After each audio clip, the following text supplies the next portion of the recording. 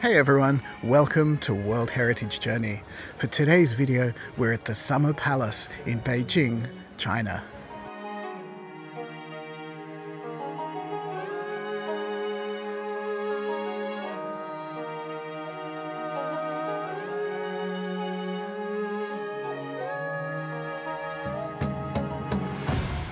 The Summer Palace is a former royal residence on the outskirts of China's capital, Beijing. As the name suggests, it was used by emperors as their summer retreat away from the noise and the heat of the city. Constructed mostly in the 18th century, the complex is centered on the artificial Kunming Lake and the artificial Longevity Hill. And it's absolutely enormous. The lake is about 3 square kilometers, while Longevity Hill is 60 meters high. Both are dotted with buildings, pavilions, temples, and other places of interest. The most dominating feature takes pride of place on the hill, the Tower of Buddhist Incense. This three tiered 41 meter tower was modeled after the Yellow Crane Tower in Wuhan. Here, empresses and emperors could pray and make offerings to the gods. Just below the tower is the beautiful Hall of Dispelling Clouds. This was built as a gift for Emperor Qianlong's mother, and it was later used as a reception hall for foreign dignitaries. It's fronted by the Gate of Dispelling Clouds, which connects to the front of the lake.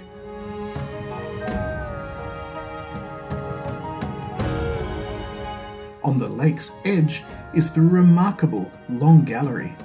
This incredible structure is just that a long outdoor corridor that runs essentially the entire length of the palace front along the lakeshore, an incredible 728 metres. It was built for obvious reasons, so that members of the imperial family could move about the gardens in any weather rain, hail, or shine. There's several pavilions dotted along the corridor, and it's brightly coloured with decorations and paintings of famous places and scenes from China.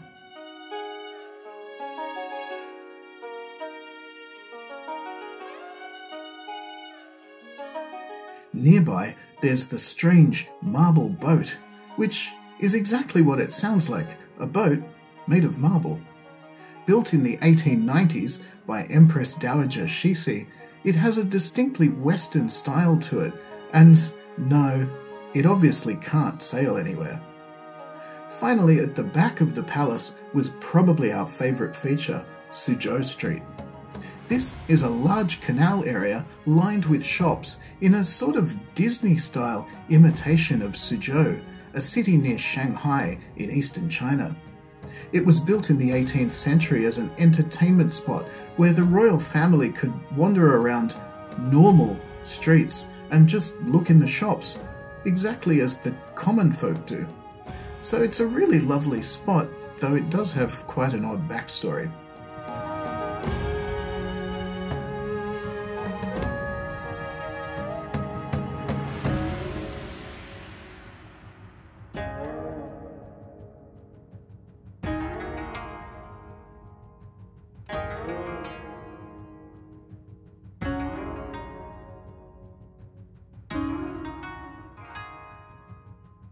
All up, we really enjoyed the Summer Palace.